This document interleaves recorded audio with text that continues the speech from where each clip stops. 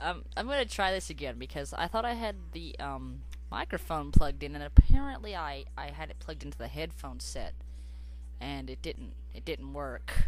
You know, apparently. So um, I mean, I'm gonna try this again. It's just the dialogue from Tommy Boy, and I'm gonna try my best to be convincing with it here. Okay, so here it goes.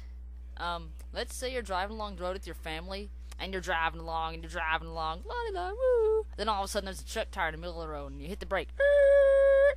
Whoa, that was close. Yeah. Now let's see what happens when you're driving with the other guys' brake pads. You're driving along, and you're driving along. All of a sudden, the kids are yelling from the back seat, "I gotta go to the bathroom, Daddy!" Not now, damn it! Truck tire! I can't stop! Help! There's a glyph! And your family screaming, Oh my god, we're burning alive!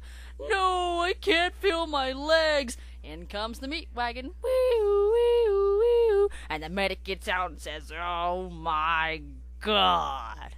New guy's in the corner, puking his guts up. Ugh, ugh, all because he wanted to save a couple extra pennies.